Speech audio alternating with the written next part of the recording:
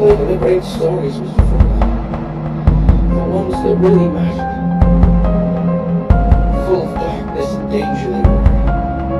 And sometimes you didn't want to know the end.